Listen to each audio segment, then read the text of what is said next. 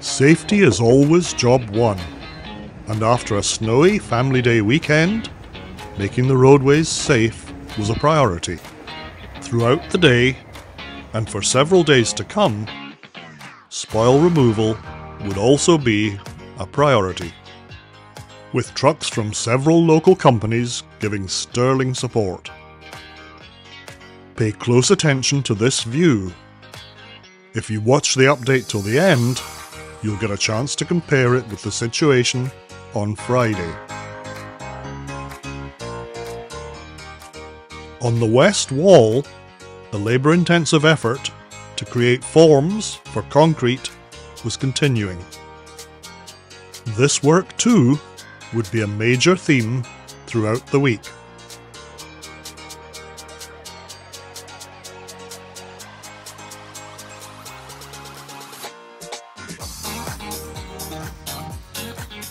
On the north end of the site, where the warehouse section will be, work continued on the preparation of foundations.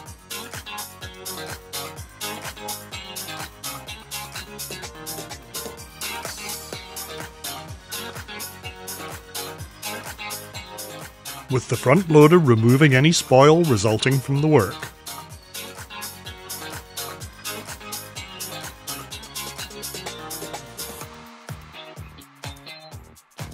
On the south wall that runs alongside Bath Road, insulating panels were being placed on the foundation wall line.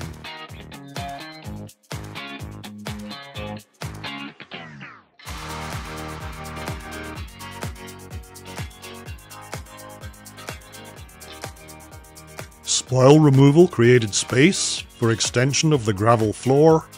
In the hands of efficient and experienced operators, the fleet of truck ensured quick and efficient transport from site.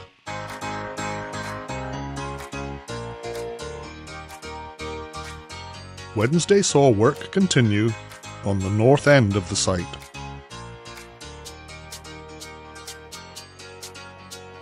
Markings on the ground made it clear that preparations would soon follow to frame up the foundations.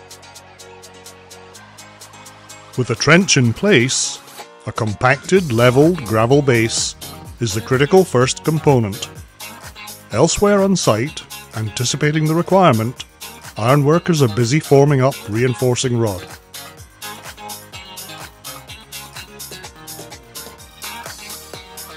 It probably goes without saying that the spoil just kept trucking away. With well over a hundred truckloads disappearing on a good day. The new building attracts a number of infrastructure changes. Amongst them, the relocation of some hydro poles. This one is being introduced into the northwest corner.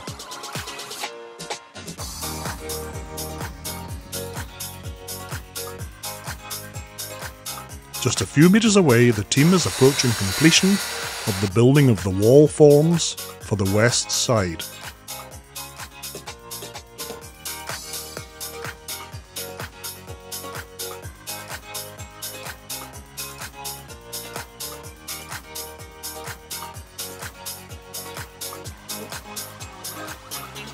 It's certainly worth noting that already by Thursday, the excavators had made such an impact on the spoil pile that gravel was now being delivered for entry into the base exposed. And the trucks just kept coming.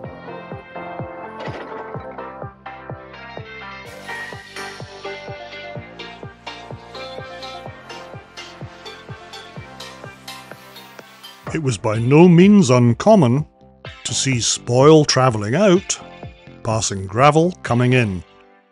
That kept both the bulldozer and the roller busy.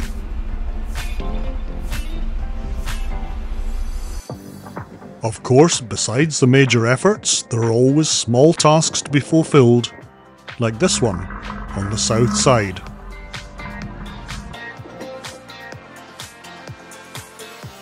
Another small but important task on the south side was freeing up the threads on what are likely to be support pillars for vertical columns. The west side story continued with elevated walkways now nearing the end and everything going very well. As you might expect, all this preparation for concrete drives a need for yet more reinforcing rod. But it's nothing that the dedicated iron workers can't handle. Many of you will recall what a foggy start to the day we had on Friday. But no effect on the pace of work was evident.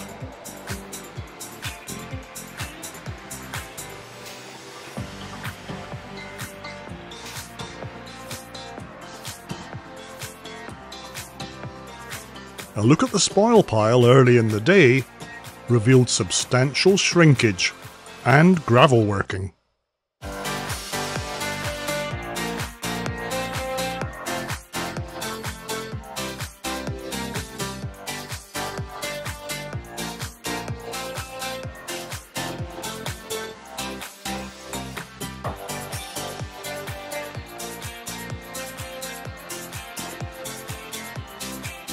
On the west wall, it's unclear whether the Kingston Hydro truck had a role to play in the site, but the work on the wall and the elevated walkway was looking really good. Anyone wondering about the walkway should know that it's there to give the workers the height to manage the concrete at the top of the forms when the time arrives. In an altogether drier week, GFL were less frequent visitors to site but they did put in an appearance on Friday. Right alongside the new North Foundation line marked up for form work. On the already cured section of the west wall, closest to Bath Road, frost fighting insulation was being installed.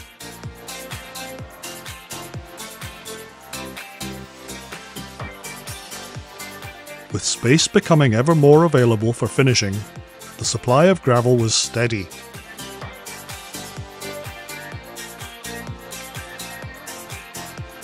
All that gravel gave the bulldozer and the roller an opportunity to shine.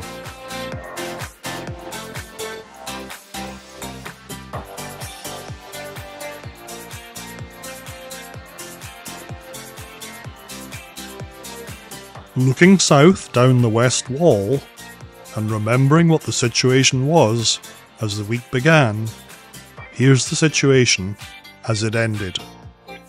What will next week bring? Well, watch the updates to find out. And thanks for watching this one.